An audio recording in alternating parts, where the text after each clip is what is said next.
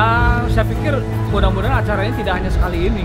Ini penting untuk dilakukan berkali-kali dan di berbagai eh, ranah sosial sekalipun uh, dalam uh, era pandemik seperti ini gitu. dan harapan saya sekalipun di new era new normal, normal ini atau setelah masa pandemik ini kita tetap harus optimis bahwa Senggigi itu tetap menjadi salah satu uh, tujuan destinasi yang penting yang nggak akan uh, bisa diabaikan. Sekalipun sekarang ada yang baru misalkan seperti Mandalika dan sebagainya tapi tetap Senggigi itu ada sesuatu.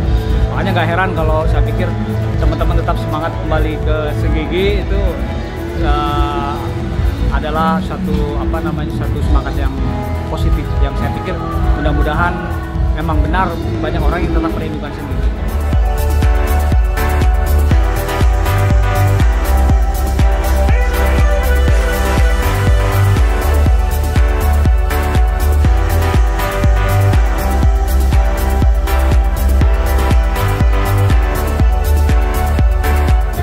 Ayo kembali ke